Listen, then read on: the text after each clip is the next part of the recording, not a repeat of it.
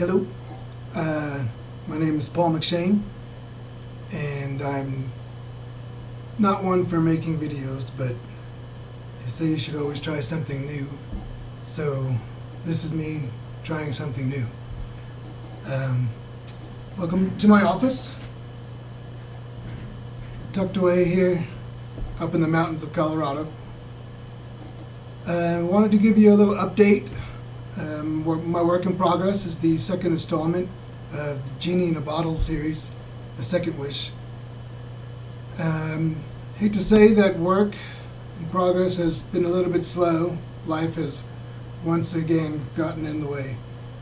But I'm getting back on track, and uh, Ines and Madison are up to their necks, but I'm working on getting them out of the situation I put them in.